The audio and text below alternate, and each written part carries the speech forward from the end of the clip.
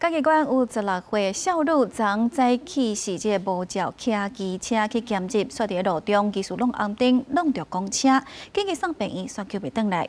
苗栗嘅这个原意嘛发生讲要倒坏的车辆，技术无让这直行的机车，造成这技术骨折，即两个车祸这技术原因拢还搁调查。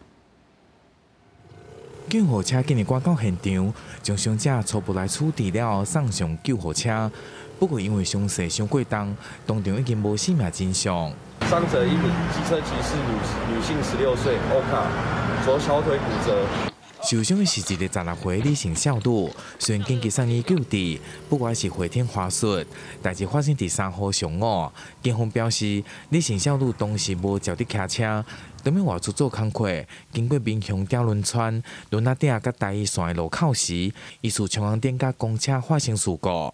急救无效，啊，那个肇事原因待调查厘清。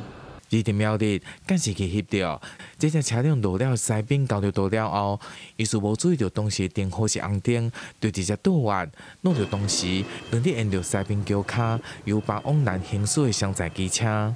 他要转过来，中间那边应该要停止了。你们有有的就直接过去啊。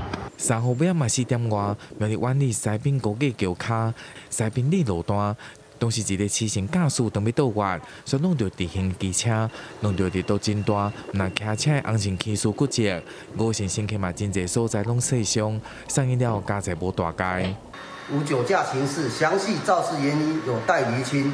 警方呼吁民众用路时应注意车前状况。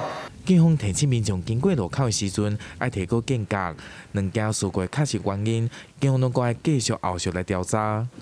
记者苗栗嘉义采访报道。